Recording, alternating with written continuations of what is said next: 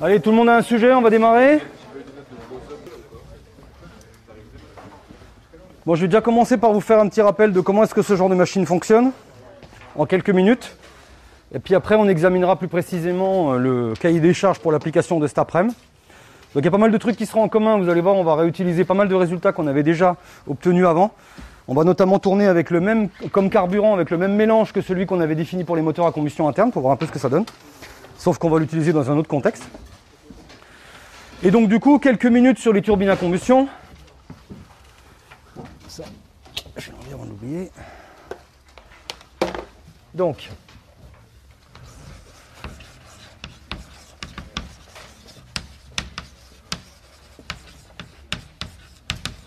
Alors qu'on appelle aussi turbine à gaz, hein.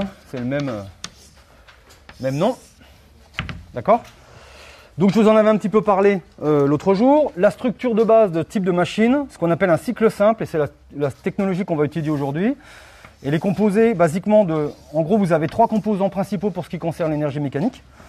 Vous avez un compresseur qui va vous absorber de l'air ici au point 1. Donc si vous vous souvenez des photos, vous avez vu la vidéo depuis, vous vous souvenez que ces histoires de, de grosses bouches avec des, avec des aubages qui tournent, qui aspirent l'air à l'entrée du compresseur. À la sortie du compresseur au point 2, vous vous retrouvez avec toujours de l'air, mais qui lui est à haute pression, d'accord? Donc haute pression, c'est pas ultra haute pression, c'est de l'ordre de entre 10 et 20 bars, hein, ça dépend des applications que vous allez considérer. Pour la production d'élect, c'est très souvent aux alentours d'une quinzaine de bars. Une fois que vous avez votre air à haute pression, vous allez le balancer dans alors quelque chose que je représente ici par un rectangle, mais si vous vous souvenez, c'est toute une série de cylindres qui sont posés sur le pourtour de la, de la coquille de la, de la turbine, qu'on appelle une chambre de combustion. D'accord Donc évidemment, pour que cette combustion ait lieu, ben, il faut que vous ajoutiez un carburant. Donc votre carburant, je vais le représenter comme ça. D'accord Et le but du carburant, évidemment, c'est de se brûler, de se combiner avec les 21% d'oxygène qui sont contenus dans l'air, qui jouent le rôle de comburant, pour obtenir une combustion qui soit le plus adiabatique possible. Alors l'objectif, c'est pas nécessairement d'aller chercher la température la plus élevée, parce qu'on en avait déjà parlé, si vous commencez à chercher des températures élevées, surtout avec des mélanges hydrogène, ça va très vite taper dans les 2500-2600 degrés, donc votre chambre de combustion, elle ne va pas tenir longtemps. Par contre, ce qu'il faut, c'est arriver à ce que l'énergie chimique que vous dépensez dans votre carburant, elle soit le plus possible utilisée pour augmenter l'enthalpie du fluide de travail. D'accord? Donc, on combine, on arrive au point 3 ici, qui correspond au point de la température le plus élevée. Donc là, on a le maximum d'enthalpie du gaz. Et ce gaz à haute enthalpie, eh bien, ce qu'on va faire, c'est qu'on va le détendre dans une turbine, jusqu'à obtenir le point 4 ici qui correspond au point de sortie. Et en fait, la puissance que vous allez produire par la turbine, eh bien, il y en a une partie, une fraction qu'on calculera tout à l'heure, qui va alimenter le compresseur.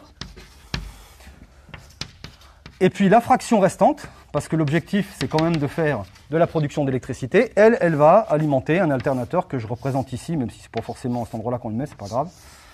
Voilà. Donc là, vous avez votre génératrice électrique. Je vais essayer d'écrire à peu près propre. Voilà. Et donc du coup, ce qui se passe, c'est que vous vous retrouvez avec une pression basse au point 1 et au point 4. Au point 4, ce qui sort généralement, bah, c'est les résidus d'échappement, donc c'est les fumées. Donc c'est un gaz avec une fraction, on va dire, un peu plus importante de CO2 et de vapeur d'eau, parce que souvent c'est ça que vous produisez dans les combustions, ça vous vous en souvenez. Et puis, euh, pas exactement, pas que du CO2, de la vapeur d'eau, tout simplement, parce que on le reverra tout à l'heure, euh, ces combustions-là sont généralement des combustions pauvres. On envoie en règle générale beaucoup plus d'air que ce qui est nécessaire parce qu'on veut maintenir une température qui soit suffisamment haute pour que la machine soit performante, mais qui soit pas trop haute parce qu'on veut pas non plus tout cramer. D'accord? Une centrale de production d'électricité de type heavy duty, normalement, quand elle est conçue, il faut qu'elle puisse tourner à peu près 100 000 heures. D'accord? Donc si vous voulez 100 000 heures de fonctionnement, bah, il ne faut pas y aller trop fort au niveau température, sinon vos chambres de combustion vont se déformer sous la contrainte, ça va être un petit peu compliqué. Vous aurez beaucoup de maintenance et le client ne sera pas content. Et vous n'arrivez pas à vendre votre électricité sur le réseau. Et du coup, ce qui se passe, si je représente ça rapidement sur un tableau. Donc vous imaginez, vous avez vos points, vous avez votre pression, vous avez ce qui correspond à votre température. Eh bien, ce qui se passe, c'est que ici, vous avez ce que je vais appeler la P min, d'accord, au point 1. Donc en gros, c'est la pression atmosphérique, hein, à peu de choses près. À peu de choses près, parce qu'évidemment, pour alimenter ce genre de machine, il faut quand même mettre des filtres en entrée. Hein. L'objectif, c'est pas non plus d'aspirer tous les canards qui passent dans le coin, sinon vous imaginez un peu la tronche euh, dans les premiers étages des aubages de moteur. Donc euh, vous mettez des gros filtres, vous avez des canaux, des choses comme ça, donc vous avez quand même une légère perte de charge, c'est pas beaucoup, hein, c'est quelques centaines de millibars, mais bon, vous avez quand même une légère perte de charge. Nous, on va la négliger évidemment. Au point 2, évidemment, vous êtes à Pmax. Donc nous, on va supposer qu'on est à Pmax. Vous avez aussi un petit peu de perte de charge rigoureusement dans la chambre de combustion, mais c'est pas grand-chose. En règle générale, vous perdez 300-400 millibars dans la chambre de combustion. Donc comparez ça avec les 13 ou 15 bars de compression, ça reste quand même relativement modeste. Donc nous, on fera l'hypothèse que la compression, elle est vraiment, que la combustion, pardon, elle est vraiment isobar. Sachant qu'en pratique, c'est un petit peu plus bas. Mais ça change pas grand chose. Et puis évidemment, la détente, bah, le but du jeu, c'est que vous retournez à P-min. Donc vous retournez à la pression atmosphérique. Alors rigoureusement, c'est pareil, il y a quand même une perte de charge dans la partie cheminée, parce qu'évidemment, il faut tout ressortir le gaz vers l'extérieur. En règle générale, pardon, on n'envoie pas les gaz évidemment à hauteur du sol, on les envoie le plus haut possible, hein, parce que vous vous souvenez, vous générez quand même pour les plus grosses turbines quelque chose comme une tonne par seconde de gaz à 600 degrés. Si vous le mettez au niveau du sol, ça peut faire un joli barbecue, mais c'est pas le but du jeu. Quoi. Donc ça passe par une grande cheminée qui part en hauteur. Et ça, c'est pour un cycle simple.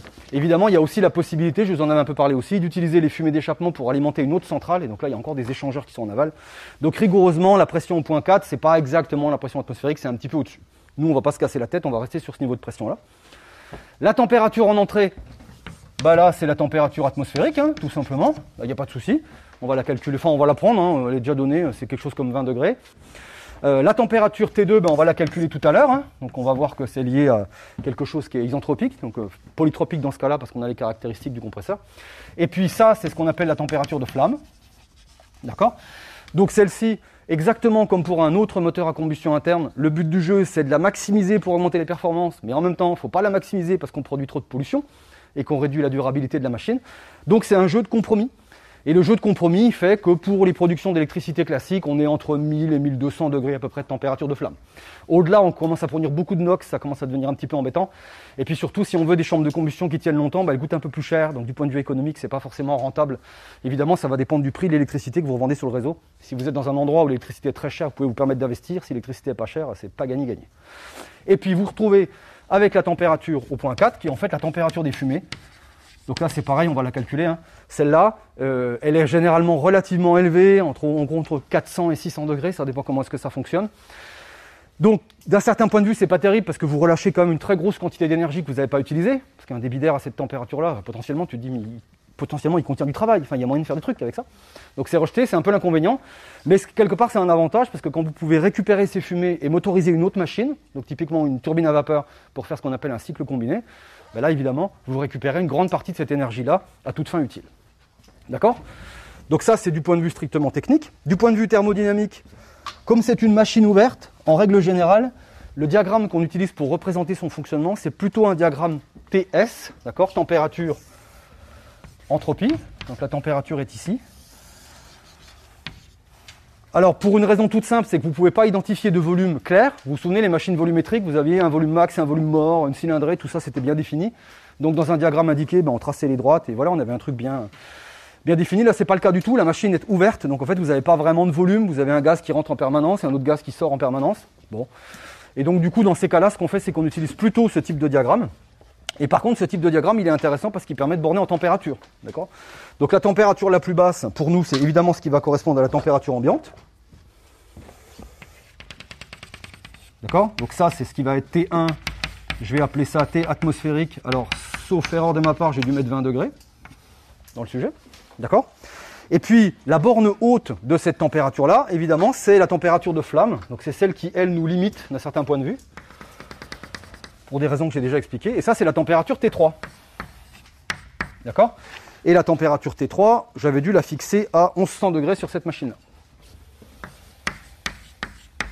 Donc ça, c'est la température de flamme. Et entre les deux, comment est-ce que ça fonctionne? Donc vous avez deux configurations. On va déjà commencer évidemment par le cycle idéal, comme on avait fait pour toutes les machines, pour que vous voyez à peu près à quoi ça devrait ressembler. Et après, je vous tracerai évidemment le cycle réel, pour que vous voyez à quoi ça ressemble réellement, parce que ce n'est pas exactement la même chose. Donc le cycle idéal, normalement, il est composé d'une compression isentropique. Alors pourquoi isentropique? Isentropique adiabatique réversible. Réversible, c'est parce que c'est super efficace, il n'y a pas de dissipation. Et adiabatique, pourquoi est-ce que c'est intéressant? C'est parce qu'à un moment donné, il va falloir que vous chauffiez aussi votre gaz. Et du coup, plus votre gaz il sort à haute température de votre compresseur au point 2, et moins vous avez besoin de fournir de carburant pour atteindre le point 3. D'accord C'est ce que je vous expliquais euh, lors du cours. Si vous voulez arriver par exemple à diminuer la consommation ici du compresseur, ça peut être intéressant pour augmenter la puissance, parce que ça veut dire que la différence va être plus importante. Par contre, vous allez fournir plus de carburant ici.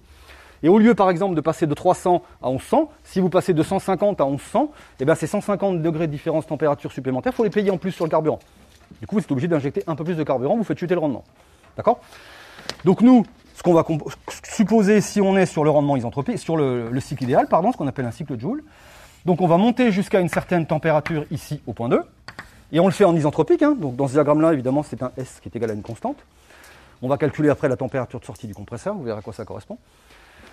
Ensuite, on a dit qu'on supposait qu'on n'avait pas de perte de charge dans la chambre de combustion, donc c'est juste un écoulement euh, isobar. Hein. Vous imaginez une espèce de gros tube, représentez-vous une espèce de gros tube avec euh, euh, des, réactifs chimiques qui entrent d'un côté, ça fait une grosse flamme, et puis à la fin, voilà, vous avez les fumées qui sortent de l'autre côté du tube, tout ça de façon globalement isobar.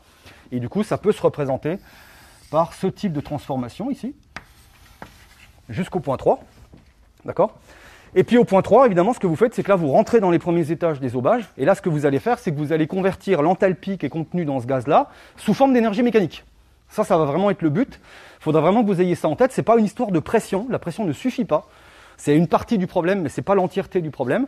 C'est essentiellement la différence de température. C'est en fait l'enthalpie. D'accord Vous imaginez que vous avez un gaz qui va se détendre, en fait, parce que comme il est très chaud, il aura tendance comme ça à se détendre. Et cette détente, eh bien, elle va vous permettre de l'accélérer. Et en fait, il va falloir capter cette énergie cinétique pour faire tourner le rotor. Et c'est comme ça que fonctionne une machine rotodynamique. Et nous, pour un cycle idéal, on va supposer que on se situe par exemple ici. Je fais ça de façon schématique. Hein. Voilà. Et là, j'arrive à ma température ici T4. D'accord Et puis la dernière étape, normalement, si on représente ça par un cycle fermé, ben, il y a un refroidissement pour boucler le cycle. En fait, c'est une machine qui est ouverte. Donc rigoureusement, vous n'avez pas vraiment besoin de fermer le cycle. Mais c'est vrai que ça revient un petit peu au même de tracer ce genre de choses. Donc celle-là, cette dernière transformation, elle est plutôt virtuelle que réelle, parce que la machine est comme une machine ouverte. D'accord Et du coup, entre 1 et 2, vous avez ce qui correspond à votre compression. Entre 2 et 3, vous avez la combustion, donc ce qui correspond à un échauffement isobar. Et puis entre 3 et 4, vous avez la détente. D'accord? Et on verra tout à l'heure, en termes d'effet utile, si le but du jeu, c'est de produire de l'énergie mécanique, comme c'est le cas pour la production d'électricité, eh bien ce que vous allez produire, c'est la différence entre ce que vous allez récupérer, c'est la différence entre ce qui est produit par la turbine ici et ce qui est consommé par le compresseur. Et ce que vous allez payer, bah, c'est ce qui va correspondre à l'apport de chaleur ici qui provient du carburant. D'accord Donc évidemment, plus haut vous sortez ici, et moins vous avez à payer pour obtenir, pour passer du point 2 jusqu'à votre point 3. D'accord Et ça, c'est ce qu'on appelle le cycle de Joule.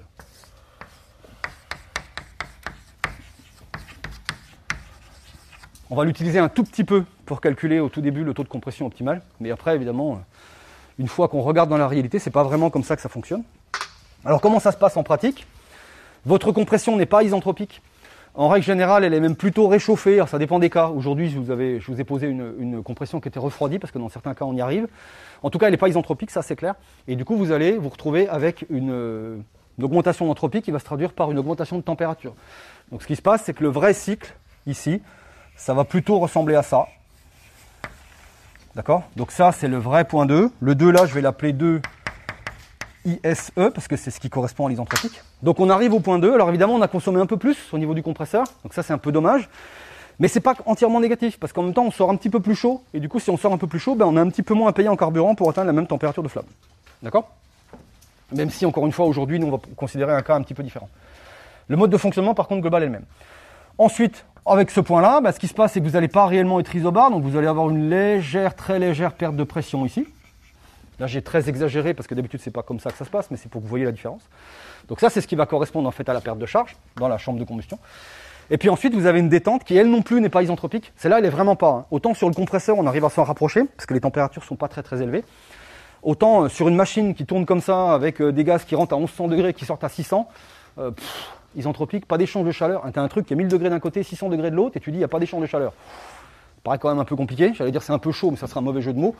Donc en pratique, vous avez une grosse production d'entropie à cet endroit-là. Et en fait, votre température, elle est plutôt comme ça. Voilà, ça c'est le 4. Le 4 qu'on avait noté avant, c'est le 4 ISE.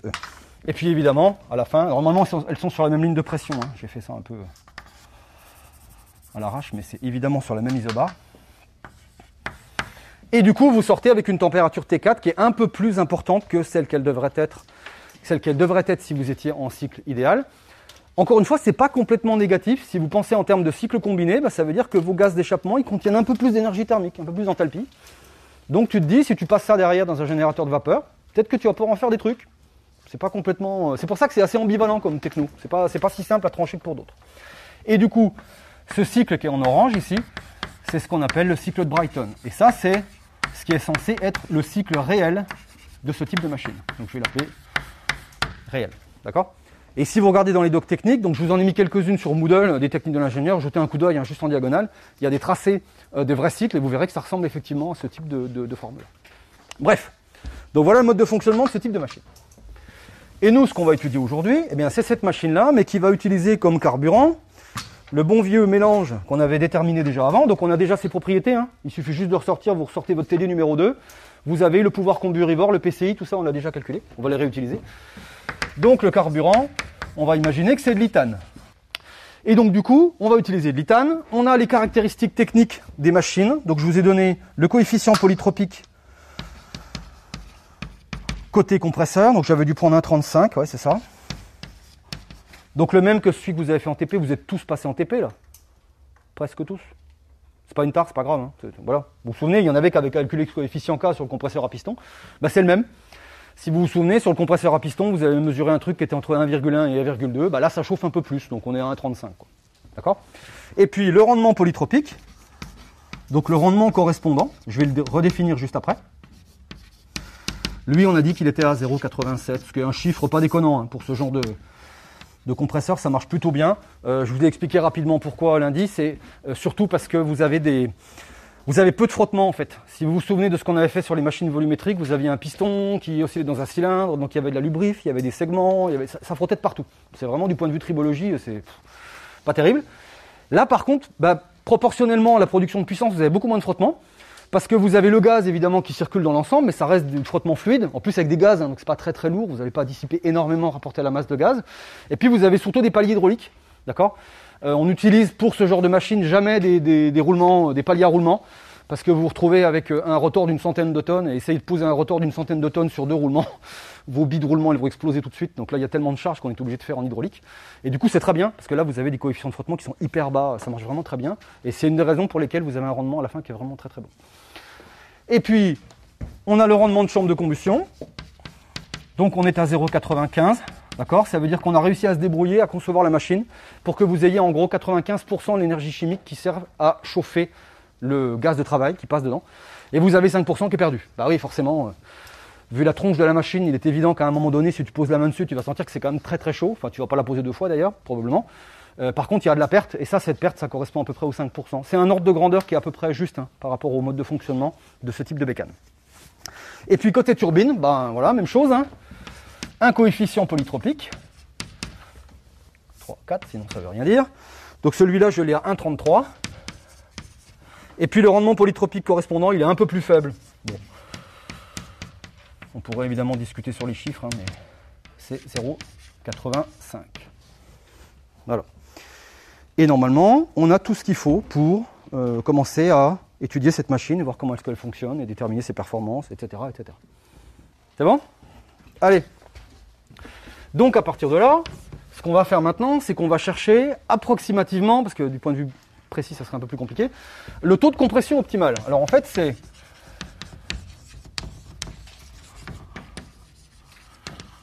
le taux de compression à puissance max.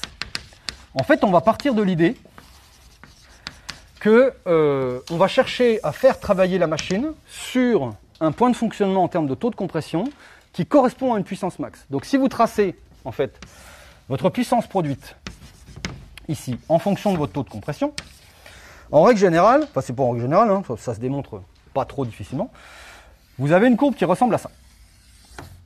D'accord? Et donc vous avez une partie où euh, votre taux de compression est clairement trop faible, vous n'allez pas produire le maximum de puissance. Et puis à un moment donné, euh, vous allez passer par un point que nous on va rechercher, qui correspond potentiellement à, donc c'est celui que je vais appeler optimum, attention c'est optimum en termes de puissance, hein, euh, qui correspond à une puissance maximum produite pour cette machine-là. D'accord? Donc ça c'est ce que je vais appeler le, la puissance effective, je la mets en valeur absolue pour qu'il n'y ait pas de problème. D'accord? Et ensuite, si vous augmentez le taux de compression, vous allez faire chuter la puissance. Alors attention, si on trace le rendement sur le même graphe, en fait, le rendement, lui, ne fait que monter. D'accord Donc même chose, sauf que ici, à la place de mettre la puissance, je mets par exemple le rendement. Mon rendement, on peut montrer qu'il va faire ça. D'accord Donc vous pouvez très bien vous retrouver avec une situation avec un taux de compression ici relativement élevé, qui correspond à une puissance qui n'est pas le max, mais par contre le rendement il est meilleur. Comment est-ce qu'on comprend ça? Eh bien, sur la machine, la puissance, ça va être la différence que vous avez entre ce que vous produisez au niveau de la turbine et ce que vous consommez au niveau du compresseur. Et ça, ça passe par un max. D'accord? Et le rendement, c'est juste cette différence-là, mais divisée par la quantité de carburant produite. Et ce qui va se passer, c'est que si vous augmentez, on va dire déraisonnablement votre taux de compression, au bout d'un moment, votre compresseur, va consommer de plus en plus. Alors essentiellement parce qu'en fait, les gaz vont être de plus en plus chauds en sortie. Donc automatiquement, ça va augmenter la consommation. Au point que cette, différence de consommation, elle va chuter. En fait, elle va tendre quasiment vers zéro. Vous n'allez pratiquement plus rien produire. Par contre, comme votre température au point 2, elle augmente aussi, ben vous avez de moins en moins de carburant à fournir en fait, au point entre 2 et 3. Et dans un cas extrême, si j'imagine que je prolonge ma courbe jusqu'au bout, bon, évidemment, ça serait complètement con, hein, je tombe vers zéro. Je peux me retrouver avec une espèce de cas idéalisé, dans le sens inverse, dans le sens opposé du terme, c'est vraiment pas l'idéal, euh, où vous avez une puissance qui est quasi nulle et vous consommez quasiment rien. Parce qu'en fait, vous chauffez tellement votre gaz à la compression que vous avez plus besoin quasiment d'apporter de carburant. Donc en fait, le ratio qui correspond au rendement, il continue à monter. Par contre, la différence entre ce que produit la turbine et ce que consomme le compresseur, c'est que dalle. Et si on prend le point de puissance max avec notre cycle, alors on va baser sur le cycle Joule, hein, parce que l'autre évidemment il est un peu trop compliqué. Eh bien, ce point ici qui correspond, ce taux de compression qui correspond au point de puissance max, on peut le déterminer tout simplement en disant que c'est, donc j'avais bien fait la formule bien propre, ouais c'est ça, c'était ce qui correspondait à euh, le T3 sur T1, donc le rapport de la température max à la température mine, à la puissance 1 sur 2 fois A. Et A, j'en avais déjà parlé, c'est juste gamma moins 1 sur gamma. D'accord? Ça, c'est valable évidemment pour un cycle idéal. Votre machine ne fonctionnera pas selon un cycle idéal, mais si vous voulez trouver l'équivalent de ce taux de compression à puissance max sur une machine réelle, bah, les calculs sont vachement plus complexes. Ça pourrait se faire, hein, on pourrait faire ça avec Excel et tout, mais ça serait pas au tableau à la main, c'est un peu chaud. Il faut itérer et tout. laisse tomber. Et du coup, à partir de là, ben, on peut en tirer la valeur de notre taux de compression optimal. Donc on peut déjà commencer par calculer le A. On fait l'hypothèse que euh, le gaz de travail se comporte toujours comme de l'air. C'est la même chose que pour les moteurs à combustion interne. Et c'est encore plus valable dans ce cas-là. D'accord? Je vous avais dit pour les moteurs à combustion interne, on fait cette hypothèse-là parce que ça nous simplifie la vie. Même pour des moteurs à essence où on est vraiment à la stoichiométrie. Euh, là, pour le coup, on n'est vraiment pas du tout à la stoichiométrie, on est vraiment en combustion pauvre, on envoie vachement plus d'air que ce qui est nécessaire. Donc, quel que soit le point dans le, circuit, vous ne serez jamais très très loin des propriétés de l'air. D'accord? Donc, le A, gamma moins 1 sur gamma, bah, ça va faire 0,4 sur 1,4. Et ça, ça fait 0,286. D'accord? Et puis pour le rapport de température, bah, c'est juste des températures en Kelvin. Donc a priori, il n'y a rien de bien méchant, c'est un rapport. Hein, donc, euh, 1100 plus 273 sur 20 plus 273 à la puissance 1 sur 2 fois 0,286. Et ça, ça vous donne approximativement le taux de compression que votre compresseur devra devoir fournir, et donc ce qui va aussi être subi par la turbine, pour que vous puissiez potentiellement vous situer au point où vous produisez le maximum de puissance par rapport à votre configuration. Et normalement, quand vous faites ce calcul-là, vous obtenez un chiffre qui est proche de ouais, 14,9, presque 15, effectivement. D'accord? Donc nous, pour la suite, ben, on va arrondir évidemment à l'unité supérieure et on va supposer qu'on va travailler avec un taux de compression de 15. On s'est calé sur ce point de dimensionnement-là. Donc une fois qu'on a ça, maintenant on connaît le taux de compression qu'on va devoir euh, assurer pour que notre machine fonctionne dans les conditions qu'on recherche. Ce qu'on sait aussi, c'est qu'on a fait des tests sur le turbo, sur le compresseur, exactement comme ce que vous avez fait en TP, et que ce test nous a permis de déterminer qu'il y avait, il était légèrement refroidi ce compresseur, et que du coup il n'était pas isentropique, mais qu'il y avait un coefficient polytropique ici qui était aux alentours de 1,35. Donc on étudie la compression. Là on va appliquer exactement ce que vous avez fait en TP. Hein.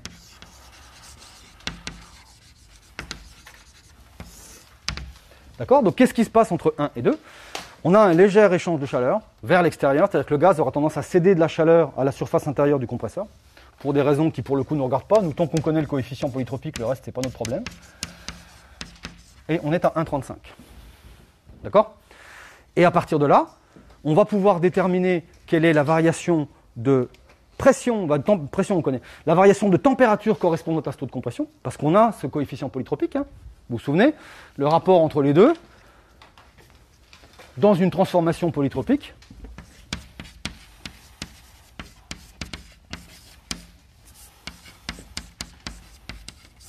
donc ça, ça devait être genre le deuxième cours, transfo polytropique, T2 sur T1, ça va s'écrire P2 sur P1, puissance K-1 sur K. D'accord? Donc ça remplace le gamma d'une isotropique en fait. C'est comme ça qu'on peut le présenter. Après, moi je vous l'avais présenté en disant que c'est un modèle général et que dans ce modèle général, si vous considérez le cas particulier où vous n'avez pas d'échange de chaleur, ben là le cal devient le gamma, que vous avez déjà l'habitude d'utiliser. Et du coup, on a ce rapport de température. Et si on a ce rapport de température et qu'on a la température d'entrée, ben on va déterminer directement la température de sortie. Et ça, ça va nous permettre de déterminer le travail de compression. Mais attention, on ne va pas utiliser la même relation que ce qu'on avait précédemment, parce que précédemment, je vous avais toujours dit les compressions, les détentes, c'est isentropique, on ne s'embête pas. Donc la quantité de travail, c'est juste la variation d'énergie interne. Et là, non, parce que là, il y a un peu de chaleur qui est perdue. Alors on a la formule, hein, je l'avais déjà présenté plusieurs fois. On utilisera la formule et on va pouvoir déterminer quel est le travail qui est réellement consommé par le compresseur, exactement comme ce que vous auriez pu faire sur le compresseur du, TP de, de thermo. Je vais y arriver. Du coup, à partir de là, P2 sur P1, c'est le delta, donc on le connaît, on l'a déterminé. C'est 15. Et le coefficient K, ben on le connaît, hein, c'est 1,35. Donc du coup, c'est 15 puissance 0,35 sur 1,35. Et ça, ça nous donne le ratio de température. Et à partir du moment où on a ce ratio de température, ben on détermine la température T2. Tout simplement. Celle qui va correspondre à la température du gaz à l'entrée des chambres de combustion. Donc je vous laisse faire le calcul, c'est vraiment pas compliqué. Donc vous obtenez combien pour la température T2 C'est un ratio de température, il hein, faut bien le mettre en, Kelvin. Alors déjà le ratio entre les deux, moi j'ai un truc un peu autour de 2. Hein, j'étais à 2, 2,018, euh, quelque chose comme ça. 2,02. Et comme c'est un rapport de température, c'est forcément des températures absolues. Donc il faut juste multiplier par la température d'entrée en Kelvin. Hein. Donc la température d'entrée en Kelvin, elle est à 293,15, parce que c'était 293, soyons cohérents, parce que c'était 20 degrés. Et vous multipliez ça par 2,018. Et ça, ça vous donne quelque chose qui était aux alentours de 592 Kelvin, soit à la louche 318 degrés.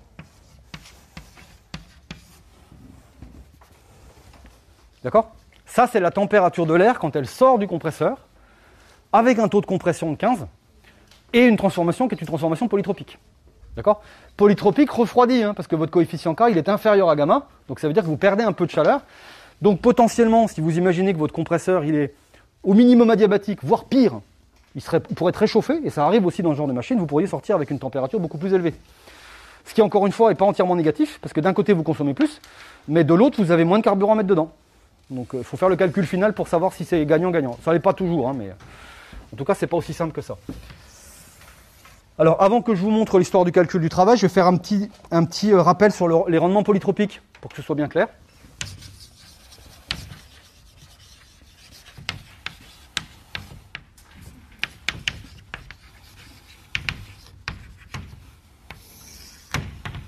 Alors, un petit rappel. Qu'est-ce que c'est qu'une transformation polytropique? C'est si c'est une compression ou une détente, c'est la transformation idéale qui vous emmène d'un point de pression et de température donné à un autre point de pression et de température donné. D'accord? Donc vous imaginez que vous avez, pour ce qui nous concerne à la compression, un P1 T1, d'accord? Et que vous allez de ce P1 T1 vers une autre P2 T2. Donc là, on l'a calculé, hein, en l'occurrence, parce qu'on avait le coefficient polytropique, mais on peut très bien faire l'inverse, comme ce que certains d'entre vous ont fait en TP. Et à ce moment-là, on va vers une autre pression de refoulement. Et là, c'est le drum. Je crois que j'ai rien cassé. P2, T2. Non, ça va bouger un peu la caméra.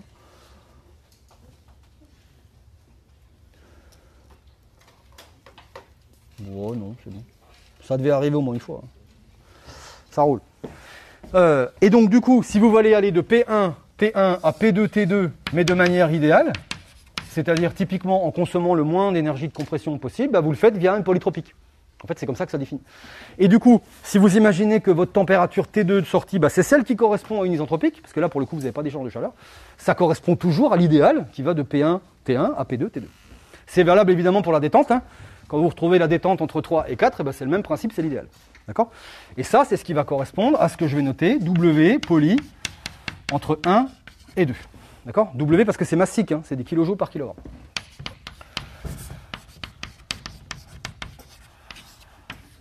Sauf que, donc là vous avez deux approches, où vous mesurez le travail réel qui est consommé par le compresseur, et à ce moment-là vous allez vous rendre compte que bah tiens c'est bizarre, euh, c'est quand même vachement plus. J'ai un peu plus que, ça, euh, du fois même beaucoup plus que ça, en fonction de la techno de compresseur. C'est logique parce que votre transformation n'est pas idéale. Il va y avoir des frottements, il va y avoir des pertes, il va y avoir tout un paquet de choses qui vont apparaître. La lubrification n'a pas été faite correctement. Euh, Robert, il devait foutre un coup de pompe à graisse. Ben voilà, il est parti en retraite depuis trois ans, personne ne l'a fait. Enfin bon, il peut imaginer plein, plein de, de configurations, de raisons différentes qui font que vous allez consommer plus. Et du coup, si vous voulez exprimer ça sous forme d'un critère de performance, ben on va définir ce qu'on appelle le rendement polytropique.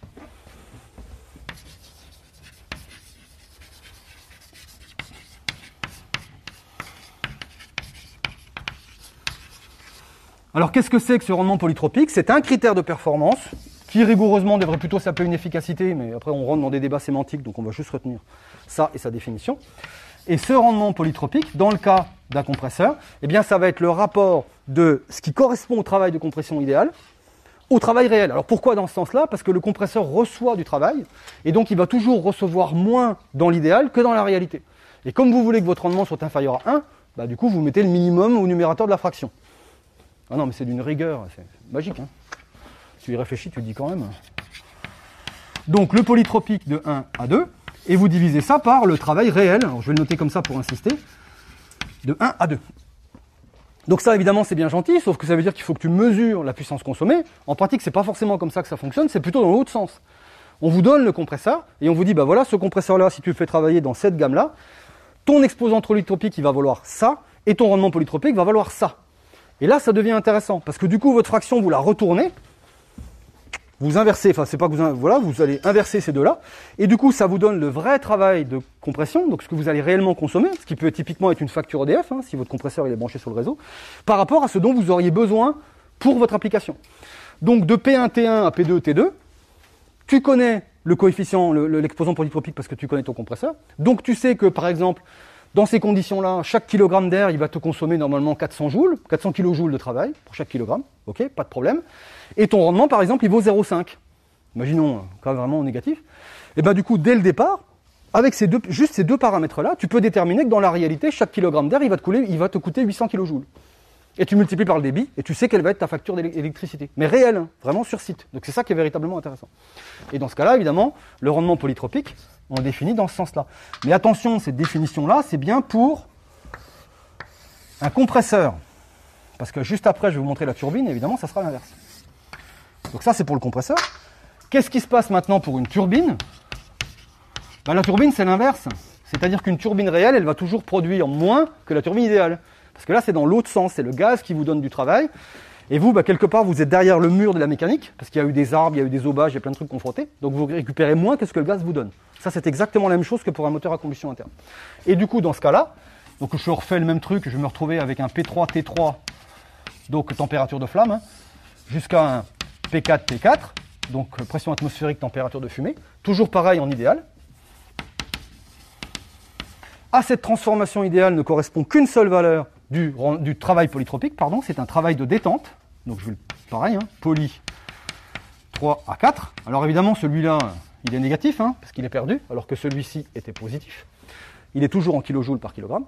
Et maintenant, quand vous voulez définir le rendement polytropique de votre turbine, bah, il faut le faire dans l'autre sens. Parce qu'à chaque fois, vous voulez que le rendement soit inférieur à 1.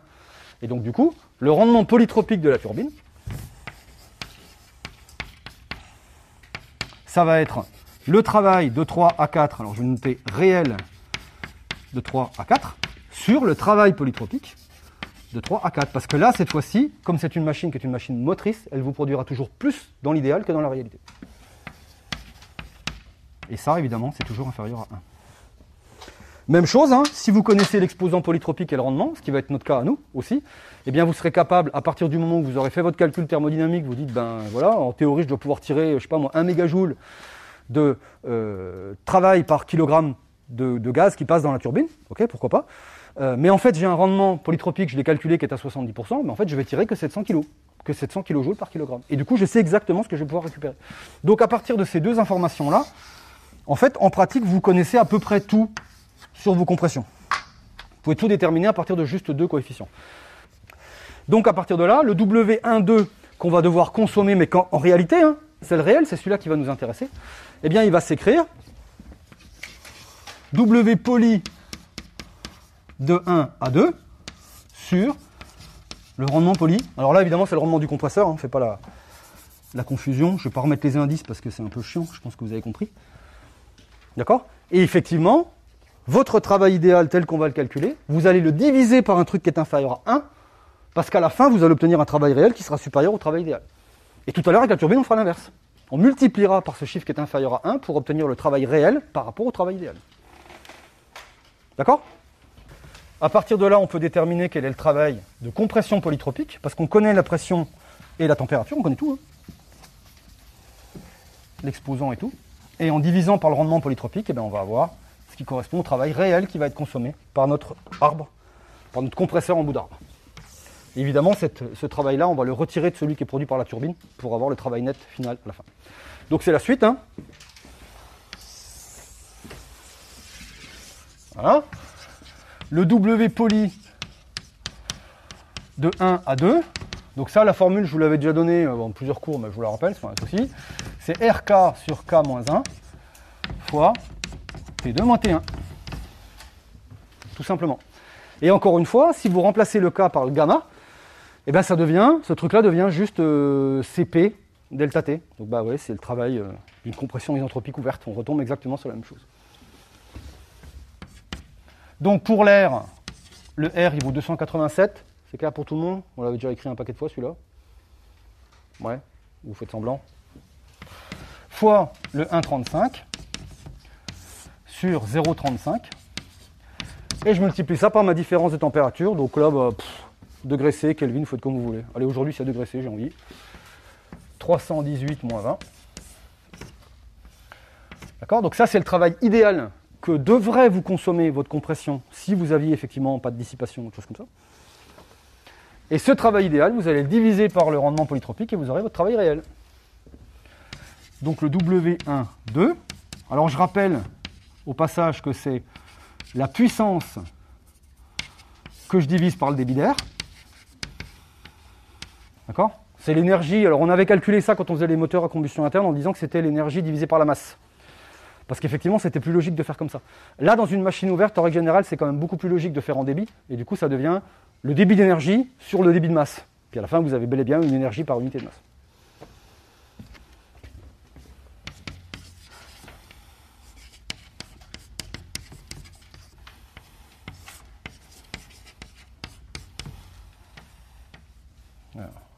Donc du coup, votre euh, travail polytropique ici, vous l'avez à combien? Combien vous avez? 330 Ah oui, oui, c'est moins, t'as raison, bien sûr. Oui, oui, oui. J'étais déjà sur la partie turbine. Tu as raison, c'est moins. Putain, le mec, il explique un truc et il, il, il fait l'inverse. N'importe quoi. Mais top crédibilité, le prof. Voilà, 330 effectivement. Et ce 330, bah, quand on va le diviser par le rendement polytropique qui est inférieur à 1, ça va nous donner un chiffre supérieur, évidemment. Donc normalement, si votre compression était polytropique, chaque kilogramme d'air, il vous coûterait 330 kJ d'énergie mécanique. Mais comme c'est pas idéal, parce que vous avez des frottements, parce que vous avez des pertes diverses et variées, eh bien en fait vous allez récupérer un, vous allez devoir payer un peu plus. Donc 330 que je divise par 0,87, et moi j'avais un 379 kJ par kilo. D'accord? Donc ça c'est le travail réel, parce que vous connaissez les caractéristiques de votre compresseur. Vous savez qu'à chaque fois qu'un kilogramme va rentrer dans la machine, il va vous coûter 379 kJ. Donc évidemment, à la fin, et encore une fois, je crois que je vous l'avais déjà expliqué, on va toujours faire les calculs en intensif, c'est-à-dire qu'on va tout ramener à un kilogramme de gaz qui rentre dans la machine. Et à la fin, quasiment la dernière question, on va dire, bah, moi je veux produire 1 kW, 100 kW, 50 MW, 1000 MW, j'en sais rien. Bref, je fais une règle de 3, et là je détermine quel est le débit qui rentre dans la machine. Donc je passe en extensif généralement à la fin. Et du coup, bah, ça nous donnera directement la puissance consommée par le compresseur. Ça doit être de mémoire la dernière question du TD. Euh, ça, normalement, ça doit être bon. Hop. Donc là, on connaît l'état de l'air à la sortie du compresseur. Donc c'est relativement chaud.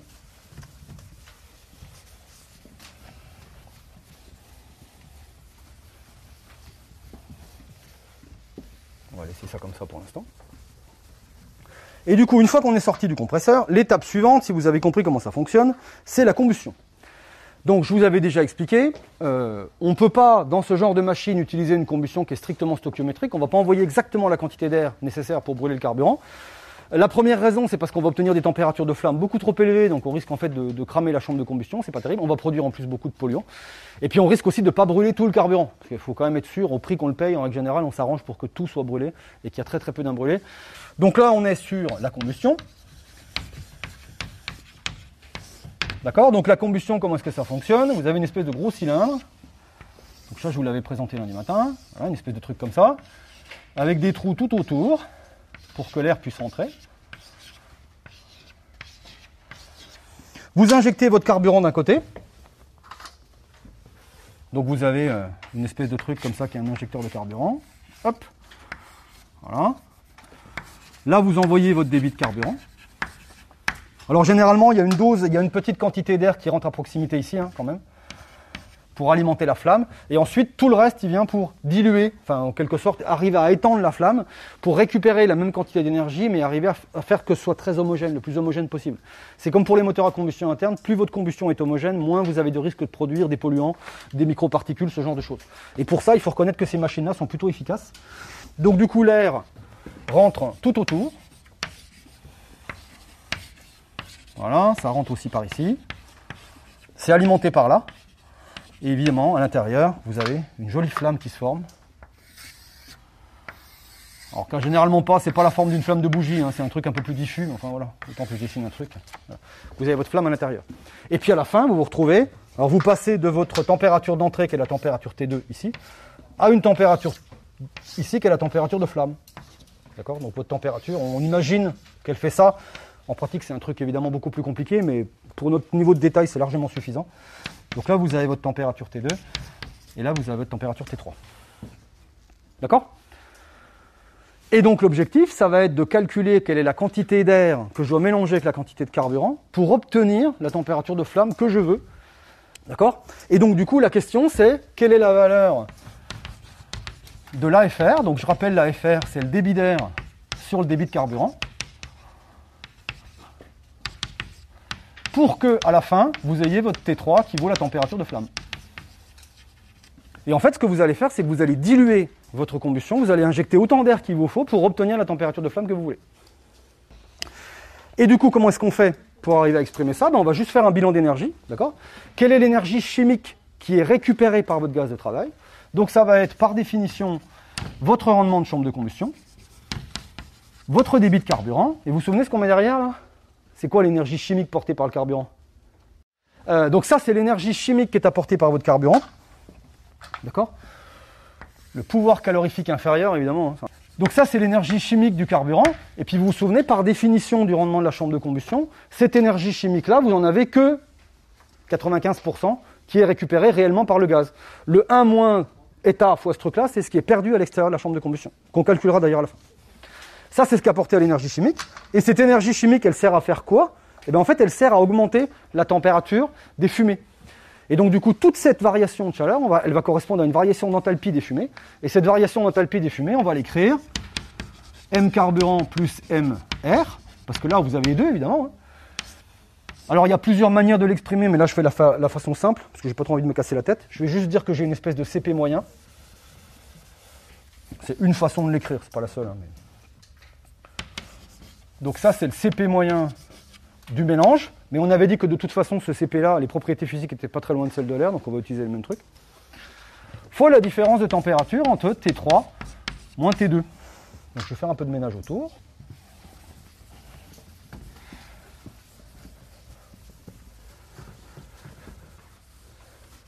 D'accord Et du coup, votre énergie chimique, ou plus particulièrement les 95% de votre énergie chimique qui sont vraiment valorisés par la chambre de combustion, ben en fait, ils servent à chauffer le gaz de travail. Donc ça, c'est ce qui est pris par le gaz de travail. Et évidemment, si votre combustion est adiabatique, toute l'énergie chimique est prise par le gaz de travail, et ce truc-là vaut 1. D'accord? Nous, ce qu'on va chercher, c'est l'AFR, le ratio air-fuel. Celui-là, il suffit juste de le faire apparaître, hein. donc ça ne va pas être très compliqué. J'ai déjà fait la manip plusieurs fois en plus. Vous avez un M carburant, facteur de 1 plus AFR, hein, c'est la définition, fois le CP, fois T3, moins T2. Et à partir de là, bah, il suffit juste d'éliminer les débits de carburant. Et vous avez une relation toute simple entre le rendement de la chambre de combustion, le PCI, le CP, la différence de température que vous voulez, parce que celle-là, elle est connue. Hein. Ça, on vient de le calculer, c'est la sortie compresseur. Ça, c'est ce qu'on veut pour des raisons énergétiques, environnementales, etc. Le CP, on va supposer qu'on le connaît. Et eh bien, à partir de là, vous déterminez la valeur de l'AFR. Et en pratique, c'est toujours comme ça qu'on règle on fait le dimensionnement en fait des entrées d'air, des pompes, des compresseurs et tout pour arriver à assurer ce type de débit. Évidemment, si vous avez la possibilité d'augmenter votre débit d'air, alors généralement vous diminuez plutôt le débit de carburant parce que le débit d'air il rentre dans la machine donc vous ne le contrôlez pas vraiment. Ce que vous contrôlez c'est le débit de carburant. Et eh bien en jouant sur le débit de carburant, vous avez la possibilité de faire varier aussi votre température de flamme. Ça, ça peut arriver. On le fait rarement en live, mais en théorie c'est possible. Et du coup à partir de là, AFR, ça va s'écrire rendement de la chambre de combustion fois le PCI que je divise par le CP moyen. T3 moins T2, c'est ce que je cherche à obtenir. Et puis il y a un moins 1 qui se barre, qui numériquement n'a pas beaucoup de sens, mais mathématiquement, il faut quand même le mettre parce qu'il faut quand même faire le boulot correctement. Alors attention, vous ne plantez pas dans les unités. Euh, le PCI, vous l'avez, il suffit juste de reprendre euh, la solution du TD2. D'accord C'était le 2 hein, qu'on avait fait sur l'ITAN. On avait calculé euh, le PCI, donc on peut le réutiliser tel quel.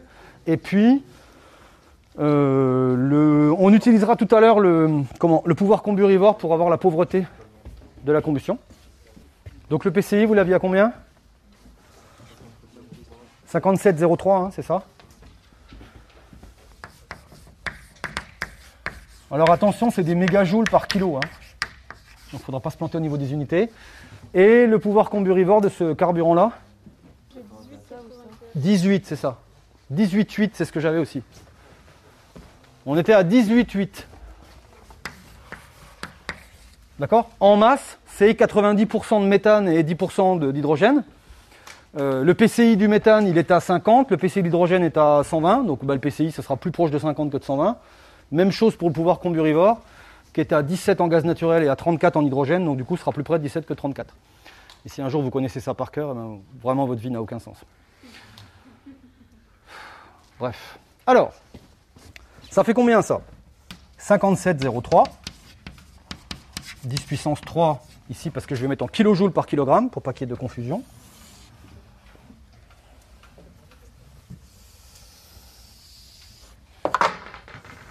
Ici, on avait dit que c'était... Donc du coup, si je le mets en kilojoules, c'est à peu près 1. J'avais dû mettre la valeur exacte ou pas? Est-ce que je l'ai mis? Encore le genre de truc que j'ai oublié de mettre dans le sujet, quoi. Large. Allez, 1 kJ par kilogramme. J'essaierai pas l'oublier dans l'examen, promis. 1100 moins 318, parce que c'est bien la différence de température qu'on veut fournir à notre gaz au travers de notre réaction de combustion. Et moins 1, qui n'a pas beaucoup d'importance au demeurant, mais si je l'oublie, vous allez poser la question et vous aurez raison. Ok, et ça, ça me fait, donc là je vous laisse terminer le calcul. Nous, ce qu'on va faire évidemment ensuite, c'est qu'on va bel et bien vérifier que la combustion est pauvre. D'accord? Donc on va comparer avec le pouvoir comburivore en disant le lambda, je rappelle, c'est le débit d'air que vous envoyez sur ce qui est strictement nécessaire à la stoichiométrie. C'est aussi donné comme le rapport de cet AFR au même paramètre mais à la stoichiométrie. Et celui-là, on le connaît, c'est 18,8. Donc évidemment, comme la combustion est pauvre, on va envoyer plus d'air que ce qui est nécessaire. La question, c'est dans quelle proportion? Et là, vous allez voir que c'est vraiment, vraiment pauvre. Donc vous avez combien pour ce dosage? 68, c'est ce que j'avais aussi. Donc 68, alors évidemment, il ne faut pas imaginer que parce que c'est 68 fois plus d'air que de carburant, c'est forcément pauvre. C'est pas ça, il hein. faut comparer par rapport à la stoichiométrie. Par contre, 68, c'est plus que 18. Alors là, oui, effectivement, c'est vraiment pauvre. Donc vous envoyez 68, d'accord? Donc en fait, il faut vous débrouiller pour qu'à chaque fois que vous ayez un kg d'air qui rentre, qui sort plutôt du compresseur et qui rentre dans les chambres de combustion, bah, il y a un 68e de ça qui doit être injecté comme carburant. D'accord?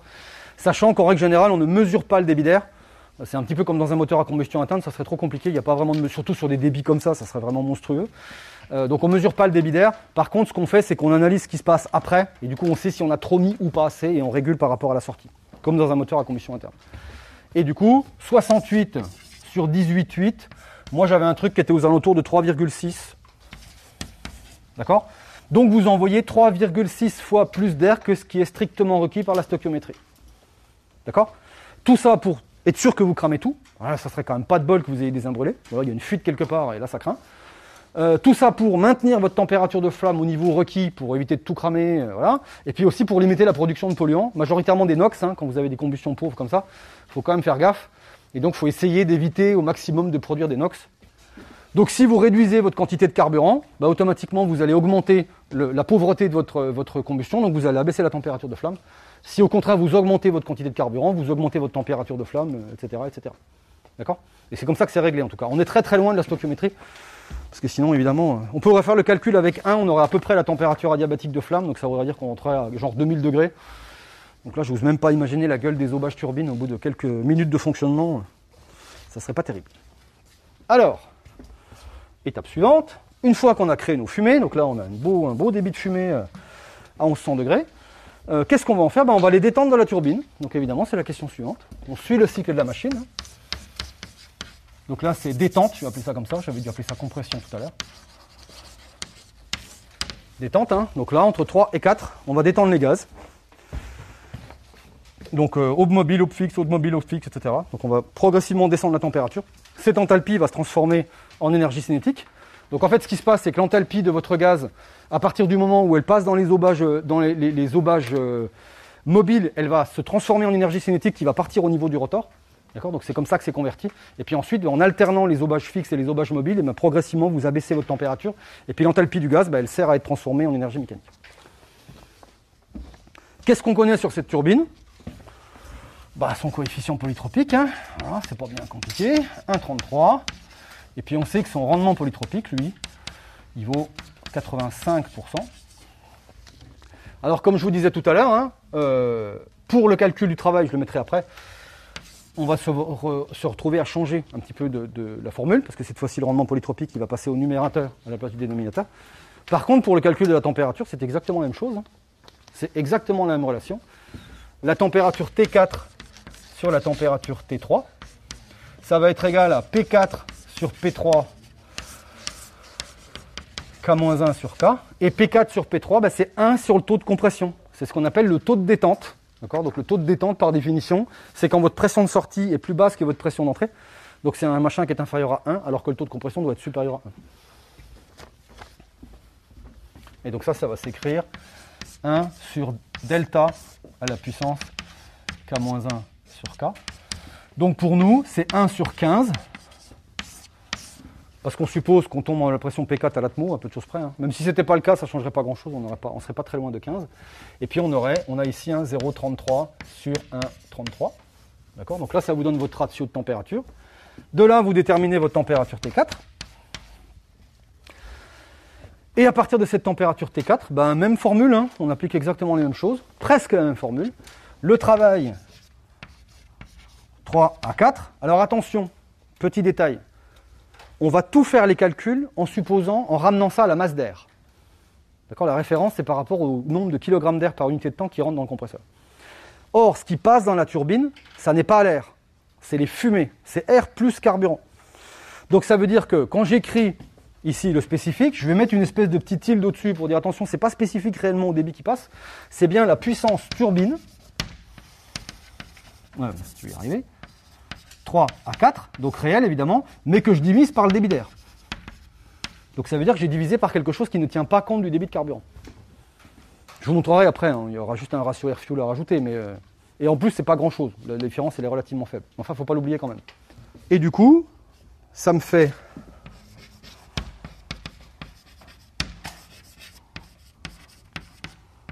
le débit des fumées fois le vrai travail massique, parce que c'est travail massique, mais vraiment par rapport à la masse de gaz qui passe dans la turbine. hein. donc c'est vraiment ça, c'est les fumées, que je divise par le débit d'air, parce que c'est ça que je veux.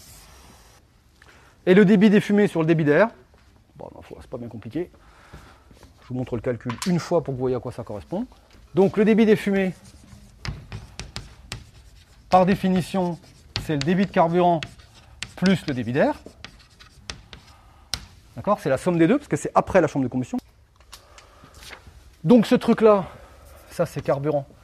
Je sais que ça s'écrit aussi M carburant facteur de 1 plus AFR.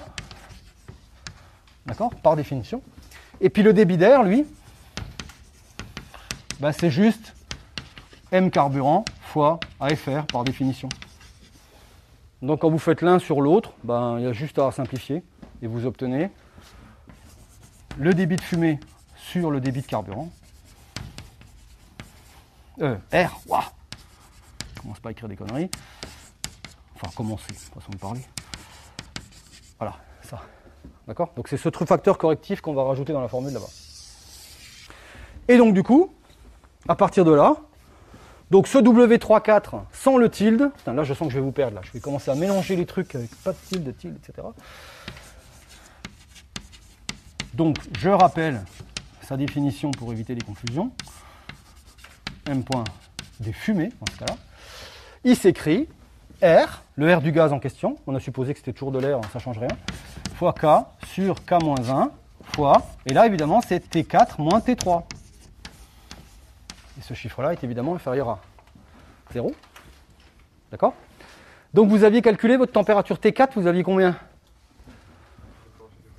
400 Pardon 428 merci. C'était les deux derniers euh, n'avais pas entendu. Et du coup, donc ça on peut le calculer, 287, donc c'est 1,33 côté turbine sur alors j'avais mis 0, je vais mettre comme ça aussi, fois 428 moins 1100. D'accord Ça vous fait bien un truc qui est négatif. Et du coup, ce travail massique là, je vais le corriger un tout petit peu pour tenir compte du fait que en fait, ce n'est pas l'air qui passe dedans, c'est les fumées, parce que moi je veux le calcul par rapport à l'air. Et ensuite, je vais le corriger ben, beaucoup plus pour introduire le fait qu'il y a un rendement qu'en fait la machine n'est pas idéale du tout. Ça, c'est vraiment le travail polytropique, donc c'est ce qui correspond au travail idéal produit euh, dans un monde parfait. Combien vous obtenez en travail massique là par rapport aux fumées? Moins 777.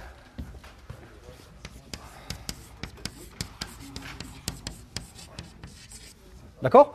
Donc ça, c'est ce que chaque kilogramme de gaz d'échappement, de fumée produit dans la turbine en idéal. D'accord? Sauf que nous, évidemment, on va avoir déjà le rendement. Donc ça, c'est poli. Hein. Alors attends. Euh, ouais, c'est du polytropique ça, parce que sinon on va, on va pas s'y retrouver. Pardon, si vous faites faire des ratures, mais pour que ce soit sûr qu'on n'ait pas de problème, on va rajouter le rendement après. Donc c'est bien polytropique, ça ne change rien au, reste des explications. Hein.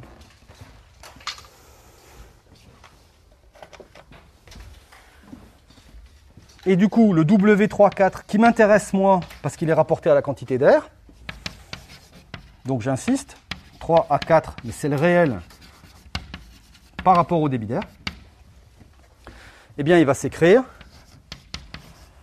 déjà le facteur correctif par rapport au fait que vous n'avez pas exactement le même débit dans les deux éléments, le rendement polytropique correspondant, fois celui qu'on vient de calculer, à 4.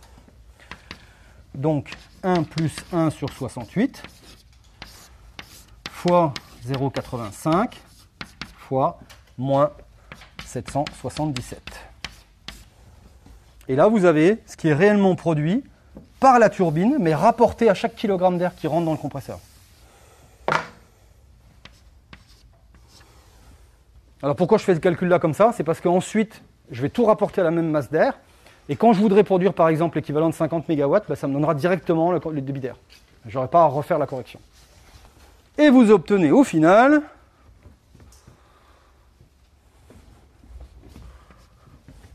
moins 670. c'est ce que j'avais.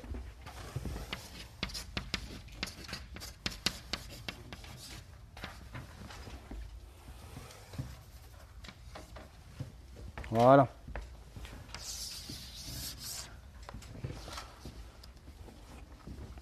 Donc chaque kilogramme d'air, lorsqu'il rentre dans cette turbine-là, dans cette configuration de fonctionnement-là, va me coûter 379 kJ pour le comprimer, mais après il va me produire 670 lors de la détente. Et donc ça veut dire que le travail net qui va être produit par chaque kilogramme d'air, eh bien ça va être 670 moins 379. D'accord Et ce chiffre-là, lorsqu'on va le diviser par la quantité d'énergie chimique qui est apportée à la machine, eh bien là on aura le rendement de l'ensemble de la bécane. Donc travail net, ça c'était la, fin de cette question-là. Qu'est-ce que je produis en net, en quelque sorte On pourrait appeler ça effectif, bon j'appelle ça net. Physiquement, je pense que vous comprenez à quoi ça correspond. Ça va être la différence, ça va être la somme algébrique pour le coup, euh, du travail entre 1 et 2, plus celui-là entre 3 et 4. D'accord Parce que le but du jeu, c'est toujours de les ramener à la même masse. Sinon, évidemment, on ne pourra pas les utiliser aussi facilement après. C'est-à-dire que ça vous donne la puissance réellement consommée par le compresseur, plus la puissance réellement produite par la turbine, le tout divisé par le débit d'air. Et tout à l'heure, évidemment, bah, quand on voudra produire 50 MW, on calculera directement le débit d'air qui doit rentrer dans la bécane. Et ça, ça fait... C'est ça, hein. Moins 670, donc ça nous fait 291, hein, c'est ça? Moins 291, Moins 291 kJ par kilo.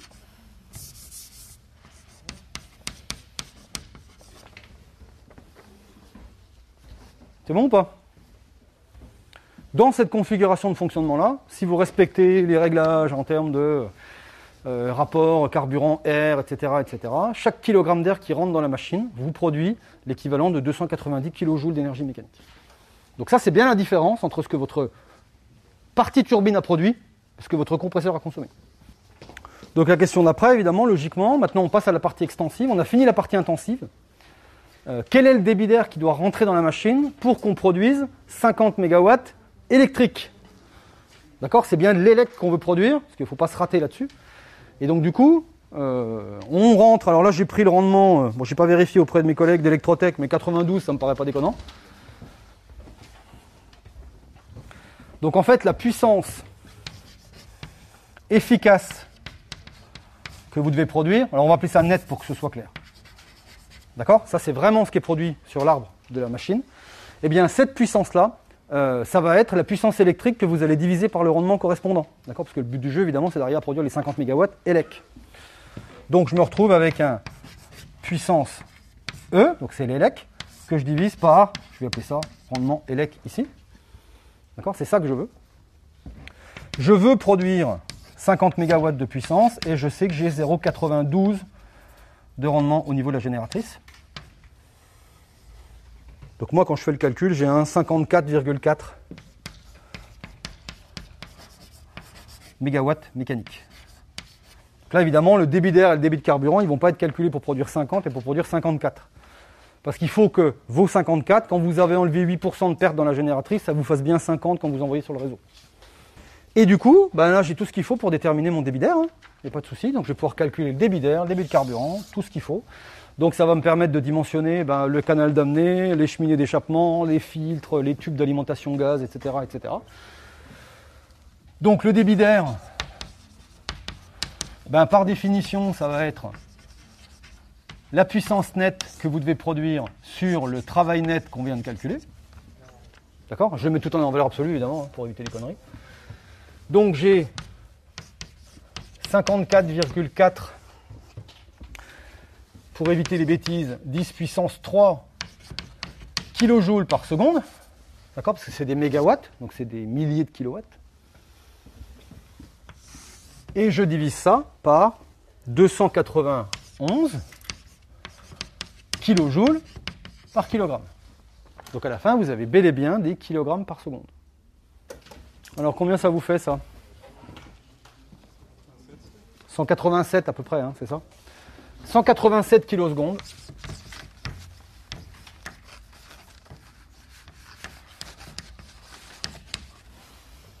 Donc votre corps, euh, corps turbine, tout ça doit être dimensionné pour que dans ces conditions de fonctionnement-là, vous passiez 187 kg par seconde.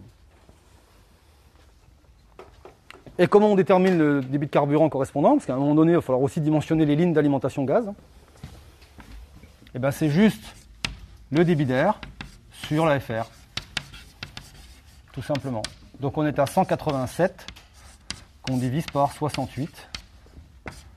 Et ça, ça vous donne la valeur du débit de gaz qu'il faut qu'il rentre dans les chambres. Alors c'est toutes les chambres, hein, d'accord? C'est vraiment tout le, tout l'ensemble de la machine. Combien ça vous fait en débit de carburant ça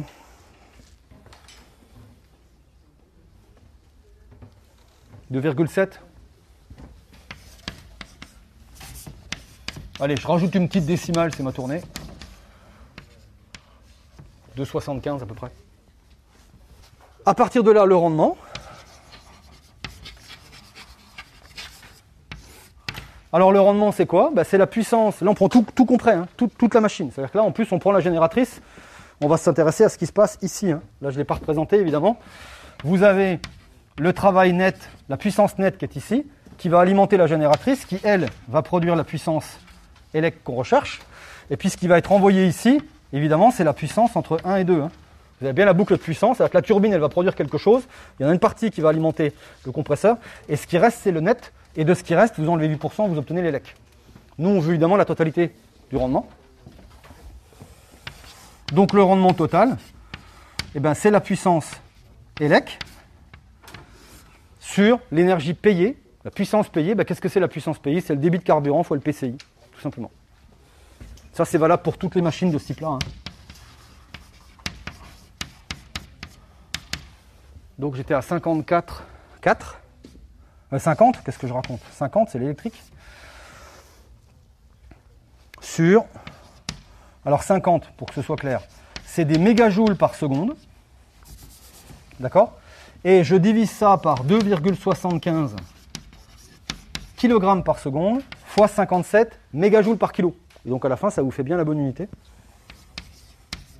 J'insiste lourdement, hein, mais faites gaffe avec ces unités parce que c'est toujours dommage de voir quelqu'un qui a bien compris, qui a bien fait le calcul, qui a fait le truc nickel, et là, juste devant le but, il la met à côté parce qu'il se rate sur les unités. C'est rageant. Combien ça fait ça en rendement? C'est un peu plus bas qu'est-ce que je vous avais annoncé, mais bon. 32, euh, ouais, j'ai à peu près 32%. C'est un peu bas. C'est pas la meilleure machine qu'on puisse trouver, évidemment. Par contre, si vous avez compris comment est-ce qu'on fait les calculs, c'est l'essentiel. Et puis dernier truc, les calculs de puissance, du coup, pour que vous voyez un petit peu à quoi ça correspond. On va appeler ça les puissances, euh, enfin puissance consommée et perdue, pas pour longtemps. Hein.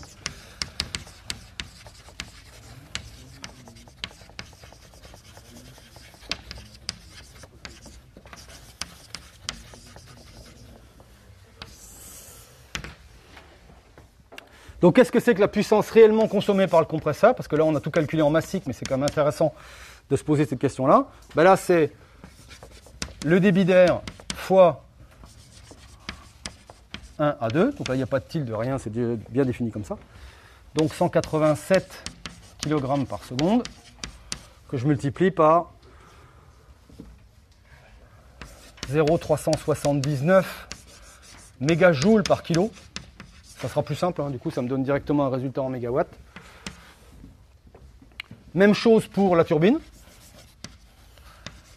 3, 4. Donc ça va être le débit d'air aussi, parce qu'on a calculé par rapport au débit d'air, fois ce machin-là.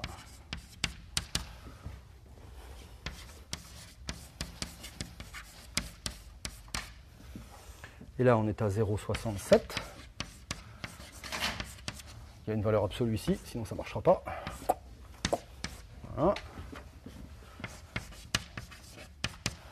Et puis, qu'est-ce qui est perdu par la chambre de combustion? Ça, ça peut aussi être un chiffre intéressant. Euh, notamment en termes de, gestion thermique, parce que du coup, vous pouvez vous retrouver quand même euh, bah, vous poser la question quoi. Est-ce que euh, quand je fais par exemple tout ce qui est l'habillage, les auxiliaires qui sont autour des chambres de combustion, est-ce que je dois mettre généralement on met des câbles électriques blindés avec des protections de température? Est-ce qu'on doit mettre des couches isolantes supplémentaires? Enfin, il y a toute une question à se poser. Et ça, c'est en grande partie lié à la puissance perdue. Donc Q, je vais le noter comme ça, perdu de 2 à 3. Donc c'est juste les 5% d'énergie chimique, mais 5% de cette énergie chimique-là, c'est carrément pas négligeable. Hein.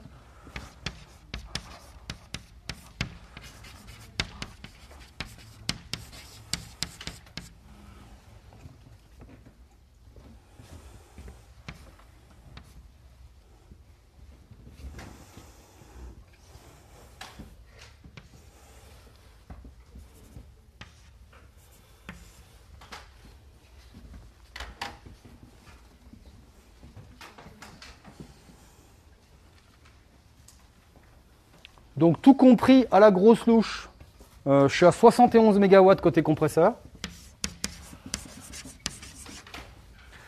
Côté turbine, je suis à 125. D'accord? Donc il y a quand même une bonne partie du travail de la turbine qui est consommée par le compresseur. hein. Ça vient du mode de fonctionnement, de la nature du mode de fonctionnement de ce type de machine, parce que c'est du gaz permanent, donc on on n'a pas le choix. Les apports de chaleur ne peuvent pas se faire à température constante. Et puis je me retrouve côté puissance perdue avec un 7,8 MW. Donc tu peux te dire 5% c'est pas grand chose.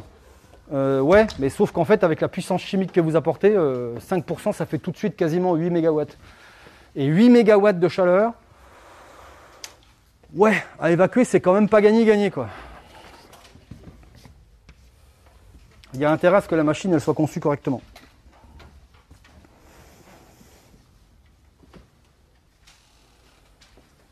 Et puis dernière question que je vous pose, euh, je, enfin je ne sais pas si je vous la pose, si je me la pose à moi d'ailleurs, ça n'a pas beaucoup d'importance. Bref, euh, l'impact carbone, parce que ça pour le coup on l'avait fait systématiquement sur toutes les applications. Euh,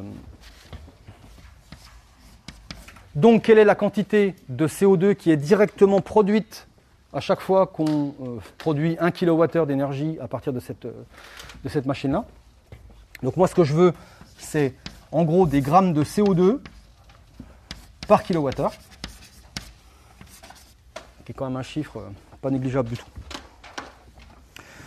Et du coup, bah, il suffit juste de diviser la production spécifique de euh, CO2 du carburant. Donc ça c'est pareil, vous reprenez sur le TD, on avait calculé, à chaque fois qu'on brûle euh, un gramme de ce carburant-là, on va produire tant de quantité de... Enfin, plutôt, à chaque fois qu'on produit un kilowattheure de chaleur avec ce carburant-là, on relâche quelque chose comme 156 grammes de CO2. Reprenez dans vos notes, on l'avait obtenu ça, on avait fait le calcul ensemble. Donc ce qu'on sait, c'est que l'ithane,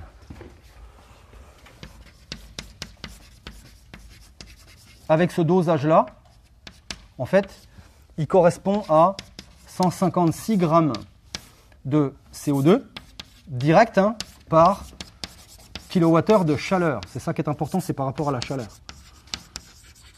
Donc évidemment, quand vous voulez rapporter ça par rapport au travail, bah, il suffit juste de mettre le rendement, puisqu'en fait le rendement, par définition, c'est la quantité de chaleur que vous apportez, la quantité d'énergie chimique que vous apportez, divisé par, enfin c'est plutôt le travail utile à la fin, l'effet utile, sur la quantité d'énergie chimique. Donc il suffit juste de prendre la quantité de CO2 que vous produisez à chaque fois que vous brûlez une certaine quantité de, euh, de carburant et donc que vous produisez un certain kilowattheure de chaleur, il est temps que ça s'arrête. Quand vous divisez ça par le rendement de votre turbine, et ben là vous vous retrouvez avec la production pour chaque kilowattheure d'énergie électrique produit. Évidemment parce qu'il y en a plus, d'accord? Pour 1 kilowattheure de chaleur, vous n'avez pas 1 kilowattheure de travail, vous avez beaucoup moins. Là en l'occurrence, vous avez 320 watts-heure, vous avez 32% de rendement. Donc du coup automatiquement ça remonte le résultat. Et du coup je me retrouve à la fin avec un 156 que je divise par 0,32. D'accord? Et ça, ça me donne la production. Et moi, je suis aux alentours de 490 grammes CO2 par kilowattheure mécanique. Alors d'énergie électrique même, c'est même mieux que ça encore. D'électricité. Merci à tous.